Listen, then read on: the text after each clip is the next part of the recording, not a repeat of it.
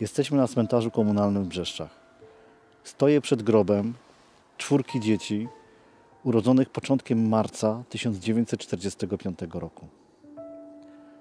Te dzieci to także ofiary obozu koncentracyjnego Klauschwitz-Birkenau.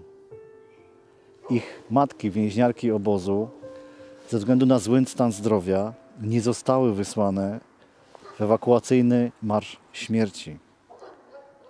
Pozostały wraz z innymi niedożywionymi więźniami w obozie i zostały wyzwolone 27 stycznia 1945 roku przez Rosjan. W tym momencie okoliczna ludność rusza z pomocą. Więźniarki zostają umieszczone w jednym szpitali PCK w Brzeszczach. Tam też po dwóch miesiącach rodzą się ich dzieci. Niestety,